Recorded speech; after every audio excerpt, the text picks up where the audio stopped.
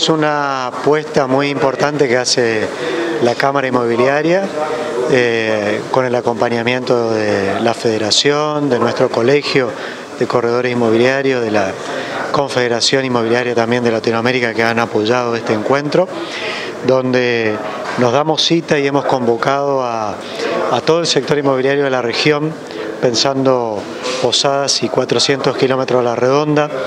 En eso este, nos incluye a, las localidades de Brasil y de, Paraguay, incluyendo hasta eh, este Asunción, así que es un espacio de integración. Primero decimos que para integrarnos tenemos que conocernos, así que por eso esto es un primer congreso que proponemos que esto tenga una continuidad y luego una rotación en el resto de, los, de las localidades y países.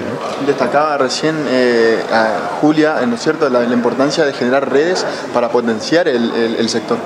Desde ya, cuando uno interactúa, se vincula, se conoce, comparte vivencias, permite estrechar redes y estas redes luego se traducen en, eh, en vínculos, este, no solamente personales, y culturales, sino también comerciales. Y es un poco lo que promueve nuestra Cámara para todo el sector y los, los que integran la Cámara Inmobiliaria de toda la provincia. Así que la, presencia hoy de, destacados disertantes, de empresas que nos están acompañando tanto de Brasil como de Paraguay, da cuenta que eh, lo que estamos proponiendo bueno, ha sido bien recibido y esperamos que esto genere y dé sus frutos a futuro y podamos tener un, mercado inmobiliario cada vez más integrado.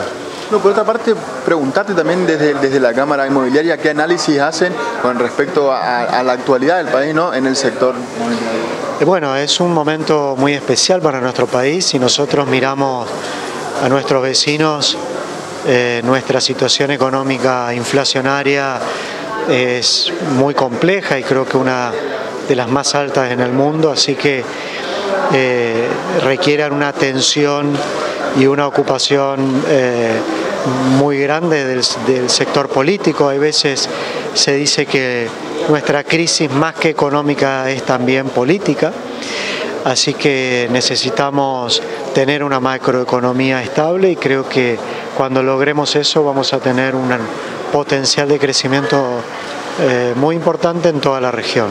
Con respecto a la nueva ley de alquileres, ¿cómo se adecúan desde, desde, este, desde este espacio?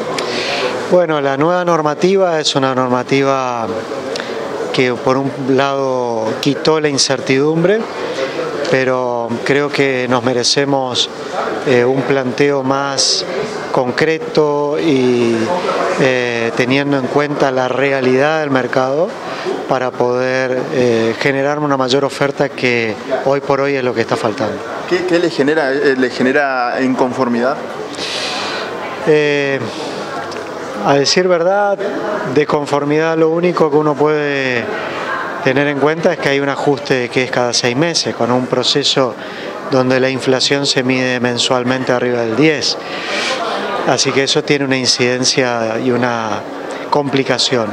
Eh, lo que sí creemos que es necesario es el planteo eh, de trabajar sobre la oferta, que, es lo que hoy no están dadas las condiciones y, hay una demanda muy fuerte por la falta de crédito hipotecario, que también es un faltante que debería tener el mercado.